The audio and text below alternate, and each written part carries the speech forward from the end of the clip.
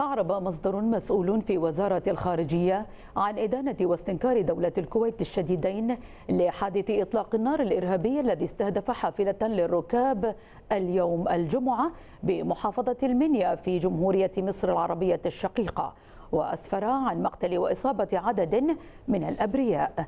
هذا وأكد المصدر وقوف دولة الكويت إلى جانب جمهورية مصر العربية الشقيقة.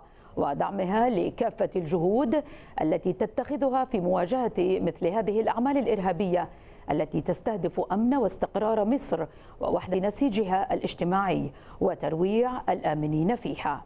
مؤكدا على موقف دولة الكويت المناهض للعنف والإرهاب والداعي إلى ضرورة حشد التأييد الدولي لمواجهة تنامي ظاهرة الإرهاب الخطيرة واختتم المصدر تصريحه بالإعراب عن خالص التعازي وصادق المواساة لأسر الضحايا وتمنياته للمصابين بالشفاء العاجل.